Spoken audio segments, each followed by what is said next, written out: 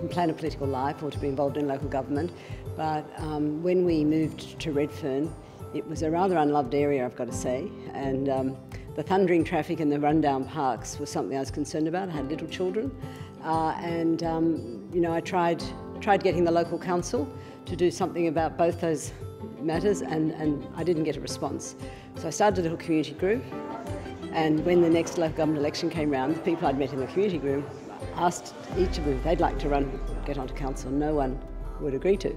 So my husband Peter said, well, why don't you? And I said, well, all right. And I'd had no political involvement and no background in politics. It was really about getting some action in my local area to improve the parks and the traffic.